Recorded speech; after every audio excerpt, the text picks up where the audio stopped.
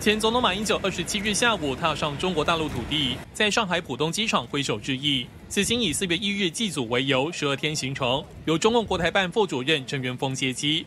但前一天有帮洪都拉斯断交中华民国。第一次到中国大陆访问，我今年七十三岁，等了三十六年才有机会到大陆去访问。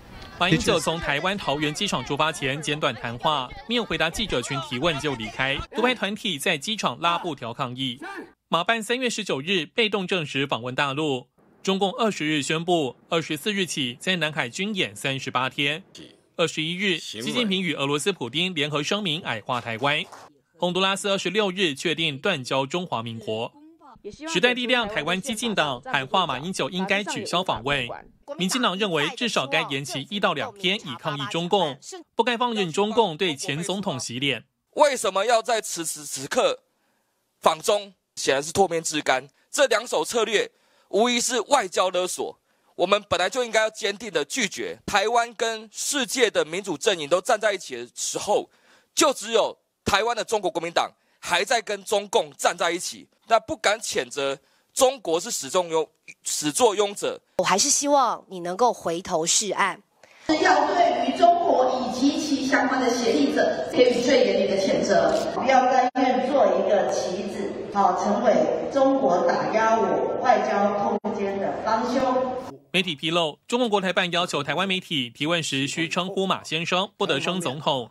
中华民国总统府表示，期待中方依照国际接待卸任元首的基本原则，确保马前总统的尊严。涉外人士认为，中共应该避免以先生称呼马。民众党立法院党团总召邱成远提醒卸任元首马英九，就台红断交危机向中共表达中华民国主流民意的立场，避免沦为中共统战的工具。国民党主席持续缓颊，我相信马总统在对岸啊，一定。要能够坚持我们中华民国的立场。继副主席夏立言访中后，极可能针对统战论述进行更实质的内容对稿。马英九办公室十九日被动证实，三月二十七日至四月七日访问大陆十二天。媒体披露可能会见中共王沪宁，撞击总统蔡英文会面捷克众议长，驻方友邦过境美国，并会面美国议长麦卡锡。马办窗是巧合。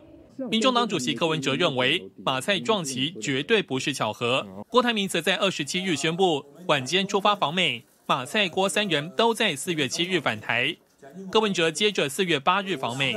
新唐亚太电视胡淑霞、黄亮简、张年杰，台湾报道。